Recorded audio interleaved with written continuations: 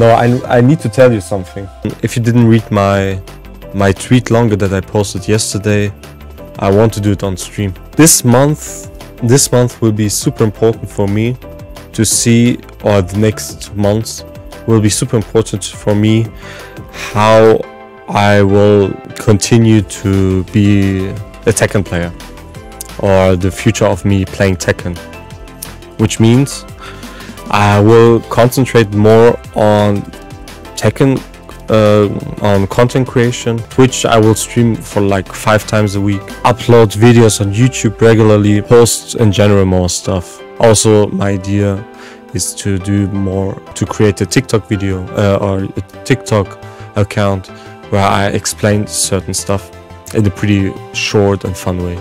Or short way, informative. The reason for that is since the middle of December I'm not working as a UX designer anymore. So I'm more concentrated or more focused on dreaming. And I really want to give it a try. I was thinking about it for quite long, for a long time to be honest, or a few months ago. That I want to con concentrate more on things like uploading stuff on YouTube. It doesn't need to be only content um, matches, also tutorials, analysis, highlights from streams yeah, I want to give it a try. I since I feel like Tekken has so much potential, and since Tekken 8 is close to, uh, it's gonna happen soon. I want to do the transition from Te Tekken 7 to Tekken 8, preparing the people for like the fundamental stuff. And yeah, yeah, I'm I'm also focusing it to be it as a main job, depending on how successful I am. That's why I would appreciate the support from you who's like lurker or actively watching just, just hang around here have a good time if you have questions for Tekken or in general feel free to ask as always I try to stream every day from 7 p.m. German time till 11 p.m. Do you still want to compete professionally in Tekken 8? Yes.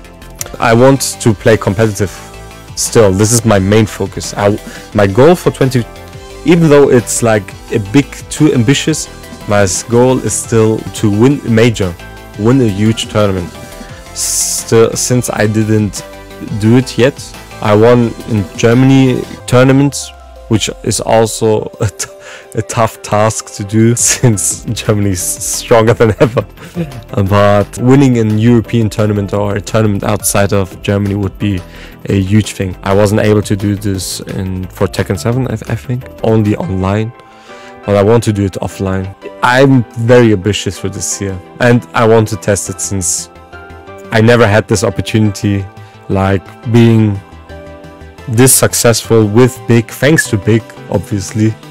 Without Big, I wouldn't be that ambitious, to be honest. And uh, wouldn't be so so bold to take this as a task since they are supporting me at any in any way. So huge shout out to big. I want to give put way more effort in in tekken this month for content creation streaming. So if you have any ideas or suggestions what i can what you want to see like sets. Like I got an idea for doing tournaments viewer viewer tournaments something like this. Feel free to tell me on Twitter Discord best outfit competition yeah.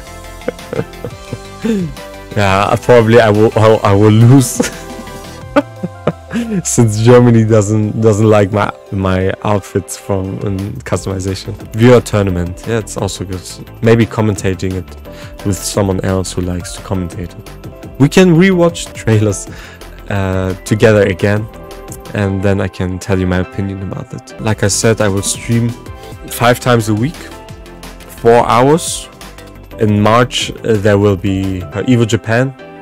I already booked the flights but I'm curious about that, excited to do a vlog there and um, share my experiences with you. Streaming will be happening for sure when I'm in Korea and in Japan, so it will be fun, for sure. I think that's basically it. If if there's something new I want to keep uh, tell you, uh, I will tell you this the next days. But I hope I will see you more, or I will see you uh, in the next streams uh, I would feel appreciated.